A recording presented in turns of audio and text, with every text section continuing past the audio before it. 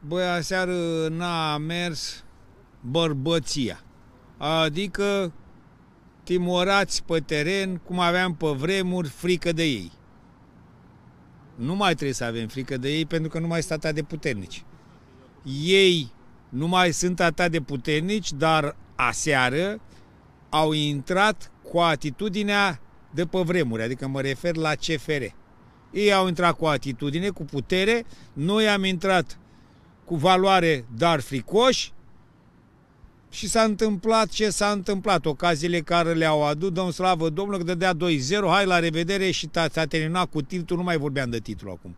Așa, în situația asta de egalitate, n-am pierdut noi nimica.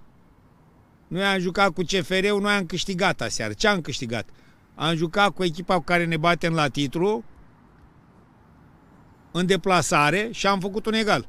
Acum vin la noi să-i ciocănim noi, să le arătăm ce înseamnă pe Ghencea. Vreți pe Ghencea? Se poate până la urmă? Da, e posibil, până la vremea atunci e posibil și pe Ghencea să fie. Nu știu, n-a, n-a să stăm astea, că astea sunt Devine cancan. obligatoriu Victoria.